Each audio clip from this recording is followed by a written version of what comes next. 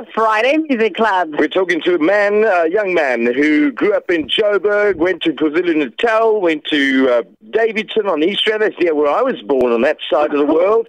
Yeah, and then uh, ended up in Pretoria. Now his music is all over the place, and he started in school randomly singing in class. He was picked up by a classmate who said, let's do some a cappella, who then introduced him to some other people and went from one thing to the next until he now has a record company called Black Skull Entertainment. Please welcome Preedy Musiq. Yo, Preedy, what's up? Hello, everybody, everybody, everybody. Nijani. How are you? How are you guys? We did. we are excited to have you on the Friday Music Club today. Uh, it started in school. How did it work when someone just you just randomly started singing? I mean, you obviously weren't listening at the time, eh? Hey, it's just started like surprisingly because of by that time I was not even interested in music, but ish, yeah, it just happened that way.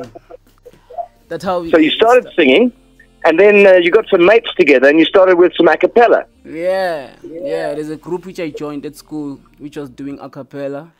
A group of boys. I think we were um, we were four.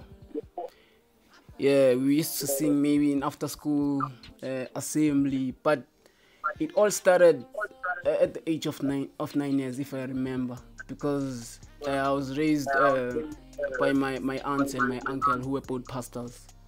So yeah, I used to sing in church in a youth choir. Uh, so yeah, it started there, but it's just that at that time I was not interested in music.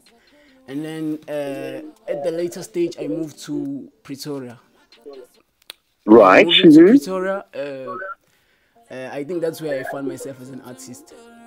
But that's, that's what I wanted to ask you about. Mm, um, yeah. You know, someone might be listening going, yeah, but, you know, I don't have a, a record company and, yeah, I can't go and, uh, you know, expose my stuff all over the world, whatever. Yeah. You started right where you were and then you sent it from one phone to the next phone.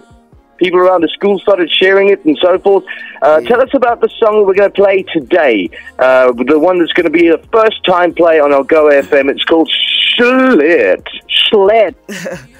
All right, yeah, the song I I, I have Sosman Kuluva on the song.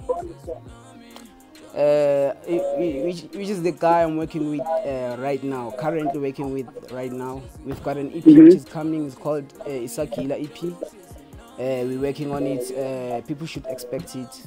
But right now, uh, I'm signed under a FS World Record. All right. And where do we find you? Where do we find you online? What do we look for?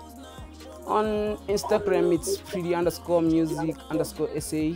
And then. And it's music with a Q on the end, right? Yeah, with the, yeah, with the Q at the end. It's All right, Preedy underscore music. Yeah, P R E E D Y and then music with a Q at the end.